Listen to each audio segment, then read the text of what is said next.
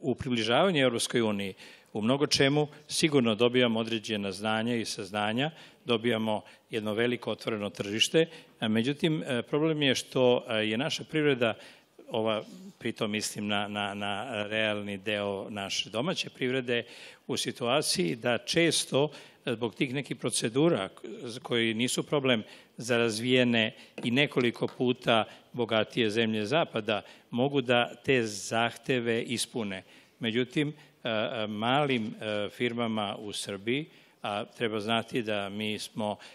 na 99,7% mikro i malih preduzeća, znači samo 0,3% mogu da kažu da su neka, neka velika, veća preduzeća, jednostavno imaju problem da uopšte prežive.